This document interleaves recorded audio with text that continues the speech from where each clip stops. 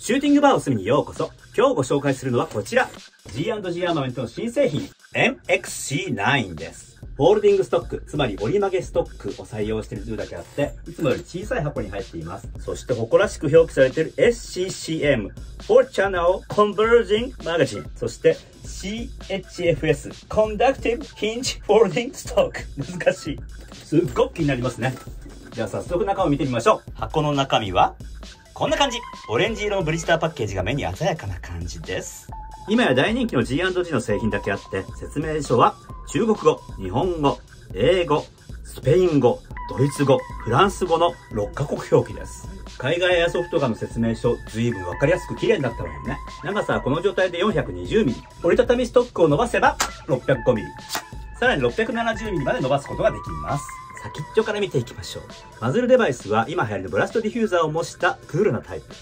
外しますと、ちょっと奥まったところに 14mm 逆ネジが現れます。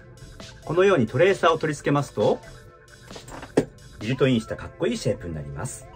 ハンドガードアルミ合金 CNC 削り出しの M ロックタイプです。ピカティニーレールと、M ロックは1、2スロット、蓋も1、2スロット。スリングスイベルアダプターも付いています。エジェクションポート周りは兄弟機の PCC4 号と共通ですけれども、9×19mm、つまりパラベラム弾の設定になっていますね。ここを起こすと、引くことができます。ホップダイヤルはドラム式です。カチカチとクリック感が心地よいタイプです。このレバーを下にずらすと、エジェクションポートを閉じることができます。なんとマガジンが2本入っています。1本は130連。こちらマグバンパーが付いたように見えるのが170連です。こちら2本ともノマグ、つまりノーマルスプリングマガジンなんです。カリカリ巻くところがないでしょ？このユニークなマガについては後ほど詳しく。なお PCC4 号用のかっこいいカートリッジ入り110連マガジンも、ハイキャパシティ520連マガジンも、ぴったりフィット。選択の幅があるって素敵。フロントサイトです。フリップアップするとこんな感じ。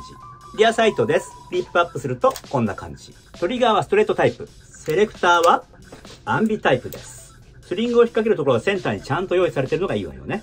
そしてこのストックは大変な優れものです。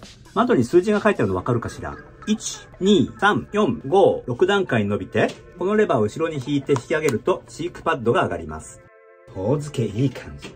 そしてこの溝のついた部分をペッして上にずらすと、パッカーンバッテリースペースが現れます。コネクターはタミヤのミニコネクタータイプ。バッテリーはリポ 7.4V、20C 以下を使ってください。ひょっとすると G&G のあらゆる機種の中で一番バッテリーが入れやすいんじゃないかしら。コネクターつなぎまして、さっきのカバーをかければ、これでもうセット完了です。この状態で伸ばしても全く問題ありません。そして、ストックを折るんですが、なんと、線も接点もありません。後方配線なのに、いよいよ電動エアソフトガンも電化製品の仲間入り。トリビアン方法配線としては最高にエクセレントなストックね。さあ、お待たせしましたマガジンです。玉を詰めてみましょう。はい、ガイドが下がってきましたね。まだまだ入ります。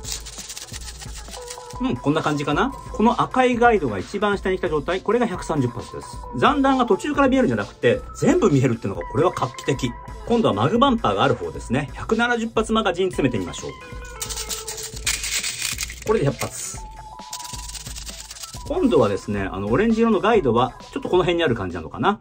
さあ、実写と言ってみましょう。マウントしましたオプティックは、ベクターオプティックスパラゴン 1x18! 肉眼よりクリアに見えるというキャリポス 1x30 の発展版です。私が一番今気に入っているプリズムサイトです。初速 0.2g でこんな数字です。サイクルはこんな感じです。では G&G MET ターゲットをダブルタップで打たせていただきます。まずはセミオート。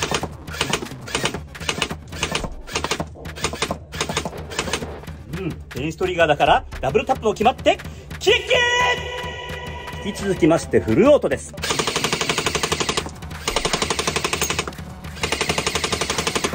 安定した球団、トレビアン。